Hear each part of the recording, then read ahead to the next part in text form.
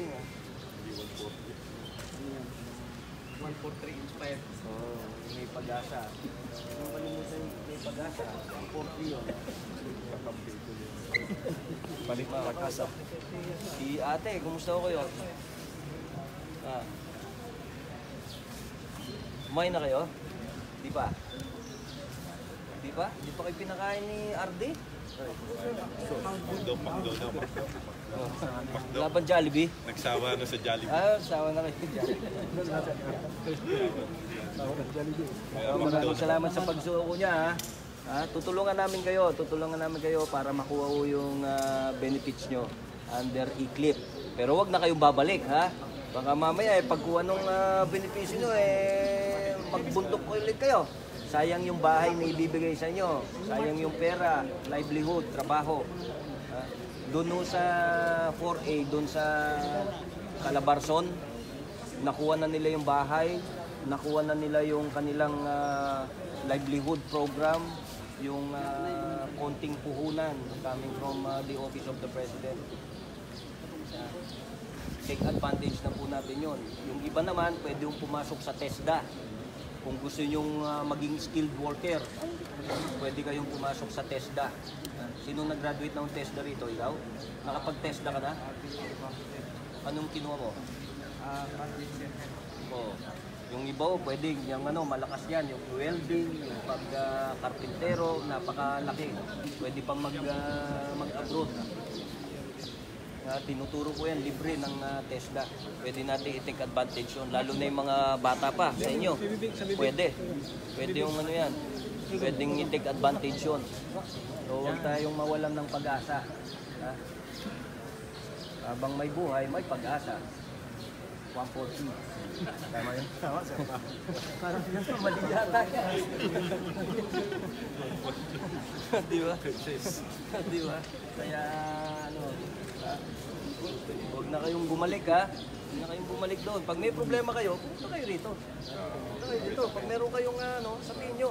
Dito, kung ah, kung darating ang panahon, no, yung ah, may, may threat sa inyo, sabihin nyo. Ha? Para mabigyan kayo ng uh, kaukulang proteksyon kung kinakailangan. Ha? Na hindi tayo asenso hanggat merong mga ganyang tao. Kaya nga hindi kayo umasenso, di ba? O, paano kaya asenso? Una, gagawa ng ah, kalsada. O, gagawa ng kalsada, ang gagawin nyo, susunugin nyo yung mga truck ng mga gumagawa, di ba? O, paano asenso yung bayan mo, yung barangay mo, kung susunugin mo yung farm to market roads? O, di ba? Hindi ah kayo asenso. Di ba? Ang isang paraan para umasenso, magkaroon ng maayos na kalsada. Di ba? Yung tinatawag na farm to market roads. Ang hindi namin maintindihan kung bakit kailangan mo sunugin yung truck ng ah, ano, yung mga heavy equipment ng gumagawa. Bakit? Kasi ayaw nga nilang umasenso yung lugar. Kapag merong hindi umaasensado at nagugutom yung mga tao doon, madaling madaling uh, impluwensyahan yung pag-iisip ng tao, di ba? Dahil gutom, di ba? Tama? Oh, ganyan yun. Oh, sino ngayon ang uh, yung umasenso? Yung gobyerno o sila? Di ba? Sila. Kasi ayaw nila tayong umasenso. Di ba? Yan ang nagpapabagal ng ating uh, pag-asenso. Di ba? Eh, paano makakapag-aral yung mga anak natin kung walang kalsada? Di ba? Paano mag paano nyo madadala sa palengke yung yung tanim mo kung walang kalsada? Di ba? Di ba? Tapos sasabihin, pupuntahan kayo doon, tapos lalasunin ng lalasunin yung utok nyo, utak nyo na pinapabayaan kayo ng gobyerno. Di ba? Di ba? Tama. Tama po ako. O, di ba? O. Masusunugin mo yung heavy equipment eh. Ginagawa na nga ang gobyerno para maging accessible yung lugar nyo. Di ba? Maging accessible kayo sa market, accessible sa edukasyon. Para yung mga bata magkaroon ng formal na pag-aaral. Di ba? Tapos susunugin mo yung ano. Opo.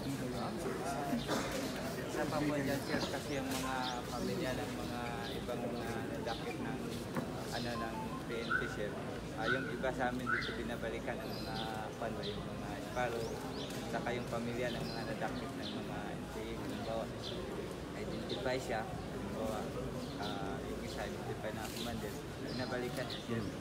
Tama po. Kaya nga pag ganyan, sabihin nyo kung under threat yung pamilya nyo o under threat kayo.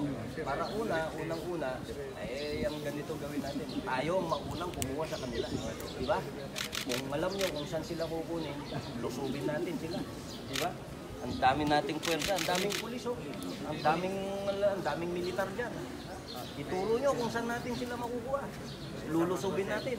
Halimbawa, iba sa amin dito ay malayo ang ano na sa bundok na nakatira sir. Halimbawa, mga 10 kilometers ang lupa sa bansa ng Paco de Leon, sir. So, ano Kaya nga ho, hintayin natin yung ano natin, yung suporta. Maghintay tayo, baka pa may pabahay na ibang lugar para kayo magbagong buhay. Hindi kayo babalik doon sa kung saan kayo nanggaling. For your protection also. Para sa uh, maprotektahan yung pamilya nyo. Huwag kayong munang bumalik doon. Para ano ho, dito muna kayo, hintayin nyo yung makukuha yung, ah, ano, yung makukuha yung ah, benepisyo. Suporta galing po sa gobyerno. Ang problema lang namin sir, ang pamilya namin doon sila. Alangan din naman kung galahay pa namin dito Tama po yan. Ah, pwede nyo naman siguro itanggalin muna. No?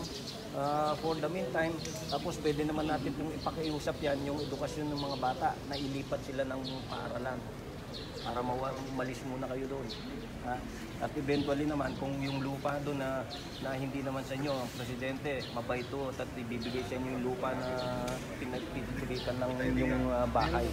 Yung sabi ko nga, kung sa tingin nyo, babalikan kayo doon, eh di, ang maganda dyan, eh, tayo ang pumunta doon sa kanila at ubusin natin sila. Eh, mabuhay tayo ng tahimik. 100% yan na isa uh, kaming lahat. Oh, kaya nga po, ha, wag nating hintayin na sila ang pumunta sa atin. Tayo ang pumunta sa kanila. Ha? Yan ang dapat ang gawin natin. Tayo na ang pumunta sa kanila dahil sila ang dahilan bakit tayo ganito ngayon. Sila ang dahilan bakit tayo naghihirap. At sila ang dahilan kung bakit napakaraming Pilipino pa na naghihirap.